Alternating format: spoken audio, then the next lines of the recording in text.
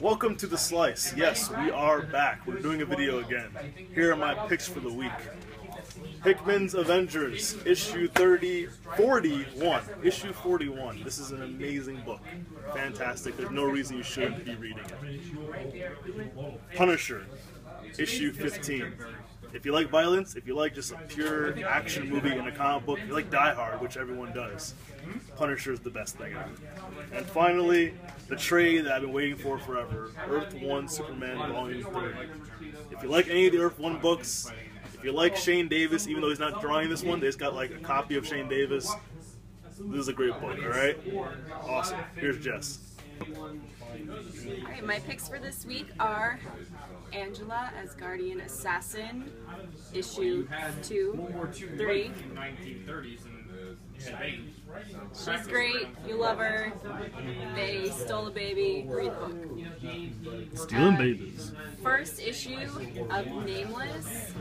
It's Grant Morrison, it's got fish people, it's gonna be crazy, and hopefully good. And then Superman, issue 38, fighting Ulysses, still, find out what happens, and see his new costume. recording a sexy video. This is our guest. This, this little Meshuggah over here.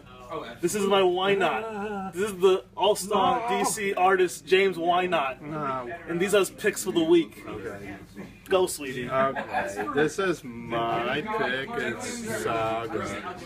Pretty good. Or no, I didn't even fucking read it. Oh, can I not curse? Leave you laying there. Okay, can I curse. didn't, I didn't read it. I didn't read it yet. It's good. Pardon me. I was Oh. shooting a porno over here. Birthright 5 is pretty awesome. Didn't read it yet, but I will. Love the book. And the best book ever, Unbeatable Squirrel Girl. If you don't read it, you're stupid. Okay, bye.